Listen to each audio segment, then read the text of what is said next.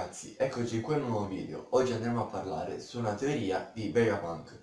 Questa teoria, anche come ho scritto nel sito dove l'ho riportata, non l'ho fatta io, ma l'ho presa da internet.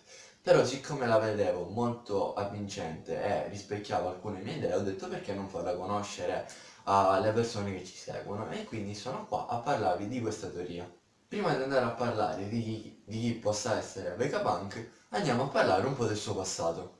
Vegapunk nasce nel regno di Bargimoa, nell'isola di Karakuri e sin da piccolo si, si, dimostra molto abile nel creare oggetti e, e si dimostra molto intelligente.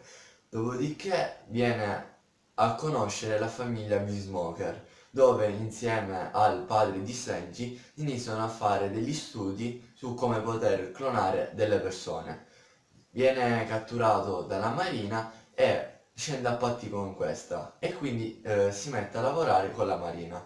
Due anni prima del, della narrazione, insieme a Cesar Clown, un altro scienziato, lavora a Punk Hazard, dove crea del, dei draghi, ma qualcosa va storto e tutto esplode, rendendo così l'isola inabitabile. Dopodiché sappiamo che prima del time skip eh, lavora sui pacifisti che sono dei robot basati sul corpo di Orso Bartolomeo e sui poteri del frutto di Kizaru. Dopodiché non sappiamo quasi più niente. Oltre a Vegapunk conosciamo altri due scienziati quindi che sono Cesar Clown e Vismoger Jaiji. Ma oltre a loro due ne conosciamo altri due.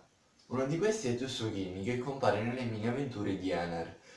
Nel databook eh, Green e Blue conosciamo che eh, Tsukimi eh, nasce anche lui nel regno di Bargimoa e in un'isola vicino a quella di Vegapunk, quindi sicuramente essendo tutti e due degli scienziati si saranno conosciuti.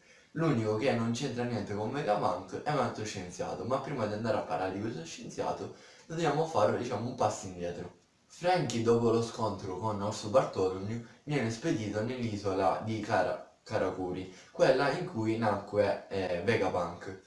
Dopo essere inseguito da un'orda di animali, arriva nel laboratorio di Vegapunk, che fa, distrugge, ma fortunatamente ne riesce a trovare un altro, dove decide di passare i due anni là dentro, dove appunto vede le, tutte le sue ricerche e gli studi di Vegapunk. Dopo i due anni che passa appunto in quest'isola ci troviamo su Fisherman Island, ehm, dove eh, Frankie mostra le sue due nuove invenzioni, Black Rhino e Brachio Tank Unit.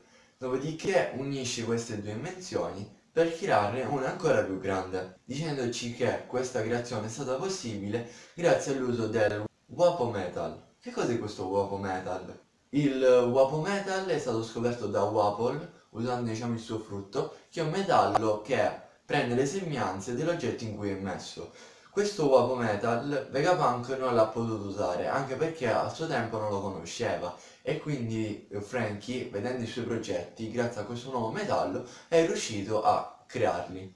Quindi una volta detto questo vi posso dimostrare chi è Vegapunk. Ecco voi l'immagine.